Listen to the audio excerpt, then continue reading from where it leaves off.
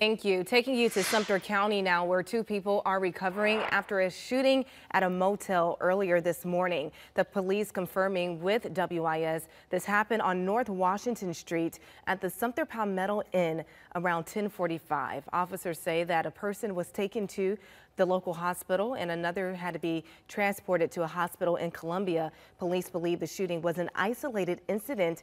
As we learn more about the shooting, we will of course keep you updated on air and online.